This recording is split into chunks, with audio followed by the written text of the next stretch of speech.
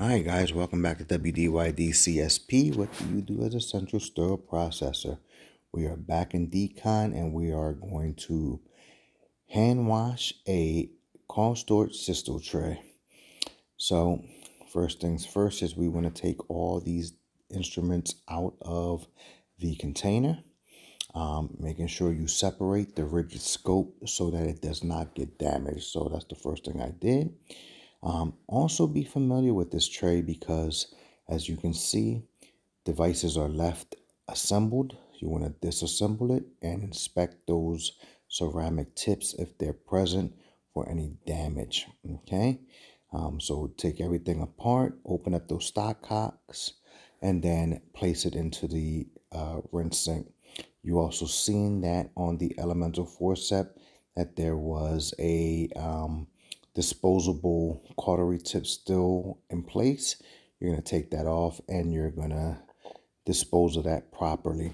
All right, so you're going to rinse everything, including the tray, and you're going to place that into your soaking slash cleaning sink. Okay, so again, this is the manual cleaning process. Um, you want to rinse everything, and as you can see, I'm rinsing externally and internally. Now, I've gotten slack for this internal flushing, um, stating that, oh, this should be done under the surface of the water, but I disagree, okay? We don't rinse under the surface of the water, so um, we're rinsing internally, and I have been seen and I've have been known to use a brush during the rinsing process just to see that, you know, sometimes when you rinse, there's some dried up soils in there and those soils don't come off. So I press a brush down there just to see, okay, is there any soils caked up in there? Because if there is, that determines how long I'm going to soak my instrument um, and then how many times I'm going to brush. Now, for these cysto trays with stopcocks, some of those stopcocks um, come apart and you should routinely be taking them apart. But just a word of caution, if you're taking them apart, be real careful not to lose those small levers and screws. Now this one here was really difficult to take apart. So I went and I soaked it in some instrument milk um, and it came off pretty easy there. Okay, rinsing those small components and then soaking everything. All right, there's my rigid scope. That's the final rinse there. I'm placing that again to the side because I don't want to damage that.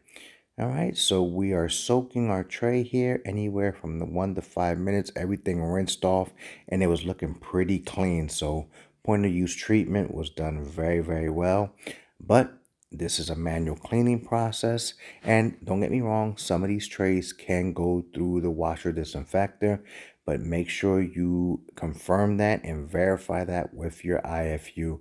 Now, this tray is being manually cleaned because although the instrumentation can go through the washer, the scope cannot. So in order to not lose the scope or possibly damage the scope, the whole tray is being hand washed.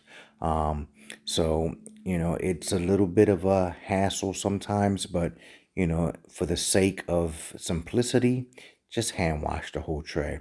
All right, so hand washing means that you have to put some friction in there after soap. Okay, hand washing is not just soaking, it is actual brushing and um, wiping.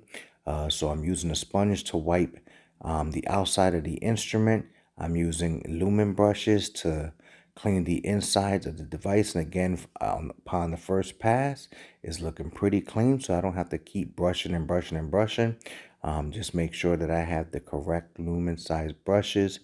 Um, and as I'm brushing and cleaning them, I'm moving over to the final and critical water rinse sink.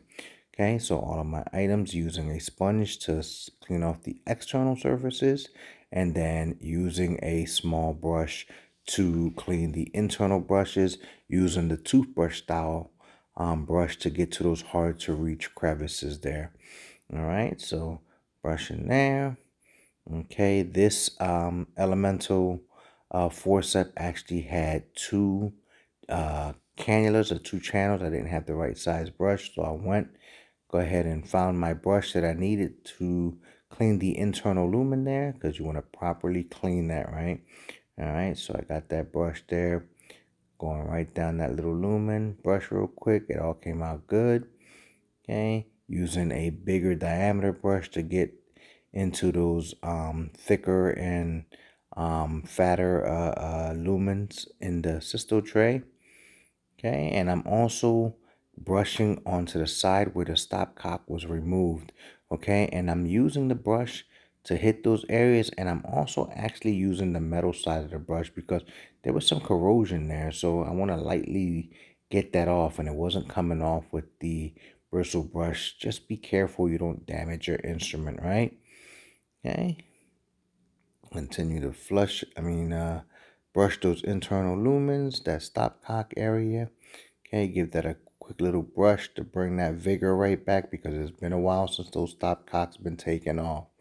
All right and then all of my very small components being really really careful not to drop them because my drain screen is actually pretty big and that little bolt can fall right in there. And if it falls down there you can forget about it. I don't lost a little screw. Okay so making sure I'm cleaning all those small little components there allowing the contact time um, the right temperature of the water, all that is significant when it comes to the cleaning process, especially the manual cleaning process. Okay, so this is taking some time here, but again, the manual cleaning process is not an easy process. That's why a lot of people hate it, um, but it's necessary for some of the devices. Um, and maybe in the near future, I might be able to contact the manufacturer and see if we can go ahead and put this tray, even with the rigid scope, through the washer because there are several companies that allow their rigid scopes to go through the washer disinfector and i've actually seen facilities do that as well. You just have to have the appropriate um, holder. Now those little screws um, were pretty stained up so i got some Surgistain here diluting it to a 1 to 7 ratio so that's a 16 ounce little container two ounces of uh, Surgistain and then fill it up to the 16 ounce mark with some warm water. All right. So here's my final rinse. I am using critical water here to give this a good rinse. You want to rinse externally and internally for at least a minute, right? So constant flushing, constant uh, spraying here, um, getting those instruments out of the container again. Um, and I'm putting them off to the little platform there that I have lined up with an absorbent liner. Okay, so getting all my little small components there. I see another one floater in there.